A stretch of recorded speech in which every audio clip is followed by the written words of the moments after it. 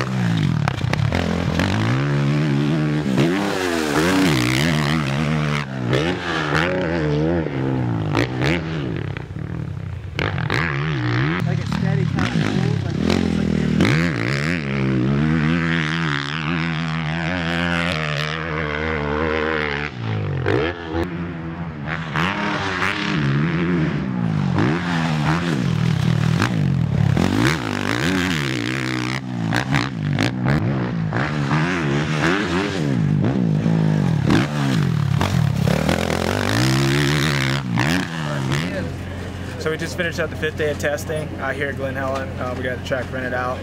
Obviously, we got my rod day coming up, so I hope to see a lot of you fans out there. Um, I'm excited to see the X Fighters. I've never seen it in person. I always record it and check it out, so that's going to be cool. Get to ride with me, the first people uh, to, to get to ride with me on the Suzuki should be good. Glen Helen always preps the track pretty good, so should be good. I'm, I'm excited. You know, we're, we're working really hard. You know, we got a about another four days, uh, three days probably of testing, and then um, you know we had to Hangtown. So I'm, I'm, I'm really I'm really am excited. Uh, so can I say excited a few more times? Because I'm really excited. You know, just uh, so excited for everything. Everything's exciting. Uh, you know, the camera looks exciting. My face is exciting. Uh, you know, that wheel over there is very exciting. Um, I'm just excited. So hopefully I see you guys come be really excited.